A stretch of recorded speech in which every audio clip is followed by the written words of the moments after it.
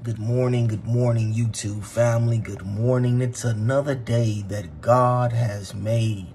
And yes, I am thankful and grateful for God's grace and mercy.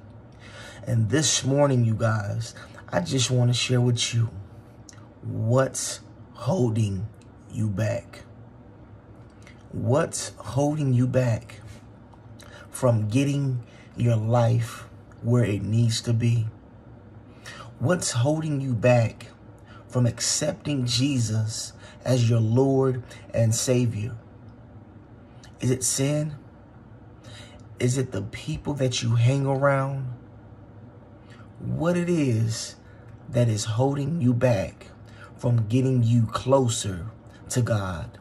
Here in the Bible, it reads in Romans chapter 10, verse 9, it says, If you declare with your mouth Jesus is Lord and believe in your heart that God raised him from the dead, you will be saved. It's time that you turn away from your sinful ways.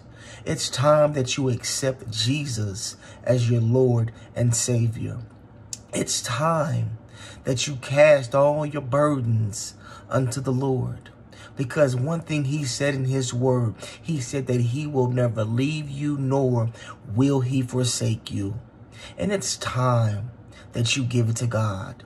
It's time for all those things that's keeping you back, that's holding you back. It's time that you give it to God so that you can be free, so that you can be delivered, so that you can be changed, so that you can become one with Christ this morning, ask yourself, what's holding me back? You know, as we look at the times, it's time to move closer to God because a lot of things are happening in this season. And no matter what happens, whether it's good or bad, everything that goes on in our life, it draws us closer to God and which it should. And we should look at it that way. Everything that we go through should draw us closer to God. Circumstances, anything that we go through, it should draw us closer to God because it's time. It's time to move closer to Him because one day we're going to close our eyes in death and we want to make sure that we have it right with our Father. We want to make sure that we are saved. We want to make sure that we are doing everything according to the word of God. And we want to be living by the word of God, not just reading it and not just applying it, but we want to make sure that we are doing right by the word of God. Apply the word of God to your life so that your life can change. Allow God to move in your life. Allow God to change your life no matter what you're going through. No matter how far um, or how long it's been, it's time to give it to God. Turn your life around and give it to God because guess what? There's a heaven to gain and a hell to stay away from. We're only here for so long, you guys. We're only here for so long. It's time that we get it right with God.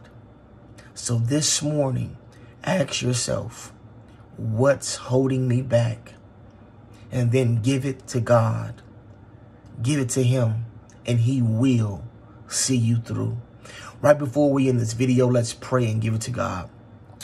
Heavenly Father, we come saying thank you. Thank you for this day. Thank you for this opportunity, Father God, giving us a second chance, Lord God, to do it all over again, but to get it right with you. Father God, I ask right now that you touch my family, that you touch my children. Father God, that you touch each and every individual that is watching this video right now. Father God, we give you the praise and the glory, and we just come saying thank you. Thank you for your son, Jesus Christ, who died on the cross cross for our sins. But not only did he die, he rose. He rose with all power in his hands. Father God, we asking you right now, Lord God, to deliver. We asking right now that you change. Father God, we asking right now, Lord God, that you look down on your people, Lord God and that we come unto you. Father God, we thank you for who you are. In Jesus Christ's name we pray. Amen and thank God. This morning, this morning, what's holding you back? Give it to God this morning, and I guarantee you that he will change you. As it, as I always say, if God loves me, he loves you. He loves us all. Until next time, you guys, be blessed. And guess what? Remember that Jesus Christ loves you and he wants the best for you. Be blessed. Give it to God. Share this video with your social media platforms because everybody needs to hear a word from the Lord.